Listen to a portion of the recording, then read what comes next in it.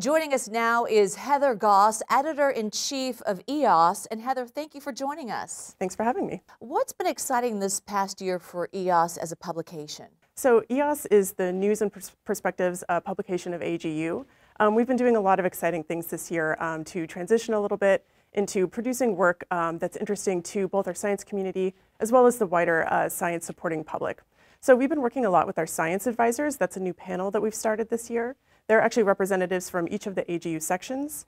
Um, so they are using their expertise to send us to really great stories um, out in the field in hydrology and space physics in all of the areas. How can scientists work with EOS to publish? So we're helping our, um, we're asking our science advisors to really go out and talk to scientists and um, have them come to us with their work so they can talk about their research in EOS.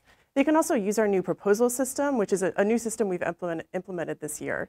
Um, scientists used to submit full manuscripts. Now we're asking them to submit a very easy proposal, just about 400 words, asking them um, why their research is interesting, why our readers would um, like to hear about that.